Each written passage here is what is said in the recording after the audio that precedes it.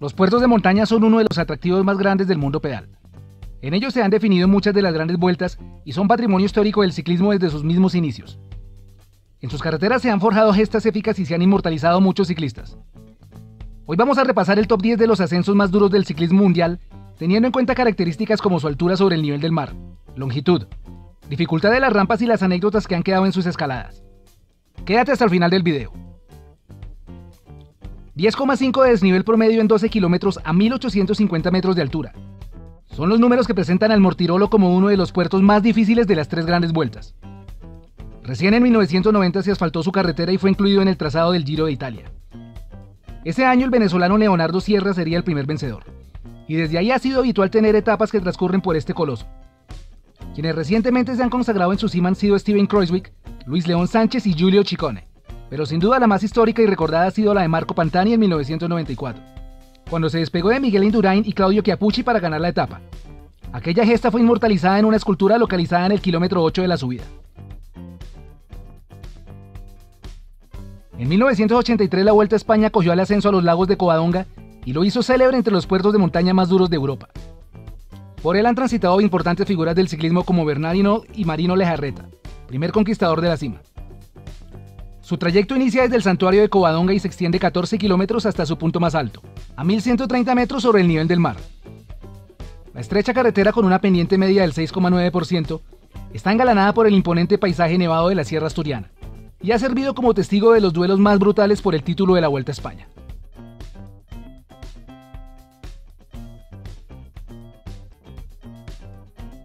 Abdue es un clásico del Tour. Su duro ascenso de 13 kilómetros al 8,2% ha definido varias ediciones de la carrera. Es el más conocido e histórico de la competencia. La característica que hace famosa esta subida, además de su dureza, son las 21 curvas de herradura a las que se les ha dado el nombre de cada uno de los ganadores en la cima. Las curvas en sí no tienen mucho desnivel, pero al salir de ellas la carretera se inclina bruscamente y hace que el ciclista tenga que acomodar su cadencia. Abdue también es conocido como el Monte de los Neerlandeses, debido a que sus nacionales poseen el mayor número de victorias en esa montaña, y por esa razón siempre se ve gran cantidad de aficionados de esta nación durante la realización de etapas.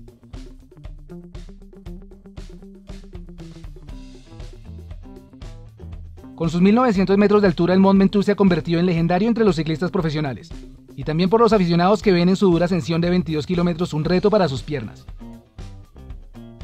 Su pendiente media del 7,6% no da descanso en ninguno de los tramos, pero su característica más temida son los fuertes vientos presentes, motivo por el cual la carretera es cerrada en algunas épocas del año. Es conocida la historia del ciclista británico Tom Simpson, quien murió en una de las etapas luego de haber consumido alcohol y anfetaminas durante el ascenso. En su honor se erigió un monumento en el lugar de su muerte y es sitio de peregrinación para aficionados al ciclismo que frecuentan la zona.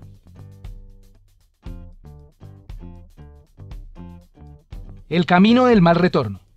Así se le conoce al Tourmalet puerto de montaña situado en los Pirineos franceses a 2.110 metros de altura. Desde su aparición en 1910 ha sido habitual en el trazado del Tour, y su cima atravesada en más de 80 ocasiones. Las dos vertientes del puerto poseen 19 y 17 kilómetros de longitud respectivamente, y una pendiente media del 7,2%. También la Vuelta a España ha programado llegadas en este pico, haciéndolo uno de los más importantes pasos de altura entre las tres grandes.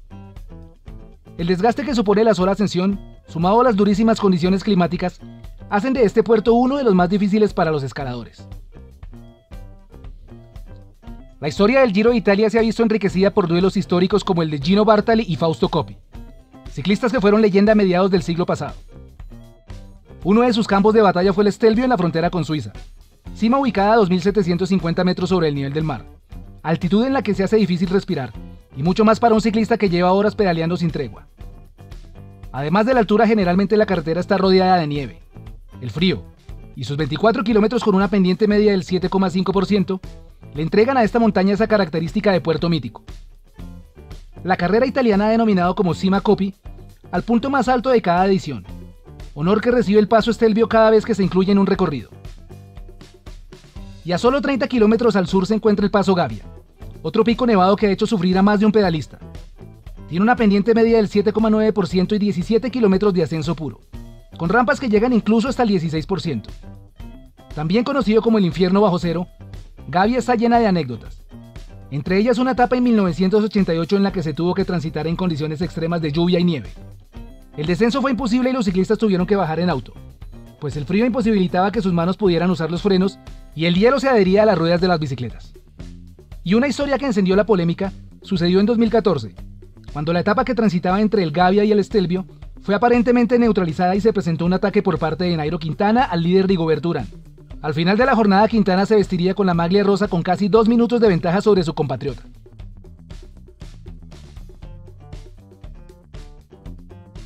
El Galibier es paso obligado del Tour de Francia, siendo casi siempre el techo de la carrera con sus 2.642 metros de altura, solamente superado por Liserán y sus 2.765 metros.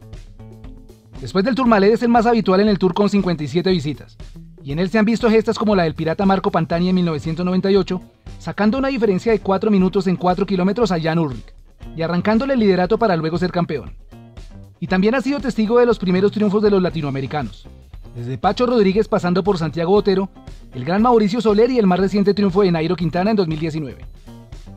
Calivier tiene el triste recuerdo de ver el primer fallecimiento de un ciclista en el Tour, en la edición de 1935, durante su descenso, el español Francisco Cepeda sufrió una grave caída que le produjo serias lesiones y su posterior muerte.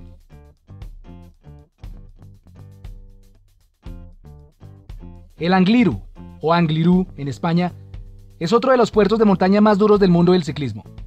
No es el más largo de todos, pero su dificultad radica en la cantidad de metros que se tienen que ascender en tan corta longitud. 1265 metros en 12,6 kilómetros lo que ofrece un porcentaje de inclinación media cercano al 11%, y con rampas que llegan a tocar un porcentaje del 24%. Angliru es relativamente nuevo dentro de la programación de la Vuelta a España. Su primera ascensión oficial en la Vuelta se dio en 1999, con triunfo para el español José María Chava Jiménez, y será recordado por ser el escenario del triunfo de Alberto Contador el día de su retiro.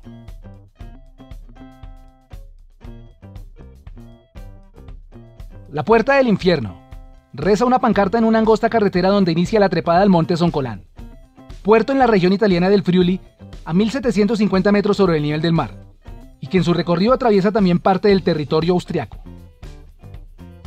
La vertiente occidental se considera como la más difícil de escalar en toda Europa con 10 kilómetros de extensión y un desnivel promedio del 13%, con rampas que llegan a tener incluso hasta un 22%. Soncolán es uno de los puertos más temidos y a la vez amados por los ciclistas del mundo, desde su inclusión en el Giro de Italia se ha finalizado etapa en seis ocasiones. La primera de ellas recién en 2003, y el honor de ser su primer conquistador fue para el italiano Gilberto Simoni, quien repitió victoria en 2007. De ahí que al Soncolán incluso se le llame el Monte Simoni. También se ha proclamado vencedores en llegada de etapa Iván Basso, Igor Antón, Michael Rogers y el último en hacerlo el británico Chris Froome para sellar la maglia rosa de 2018.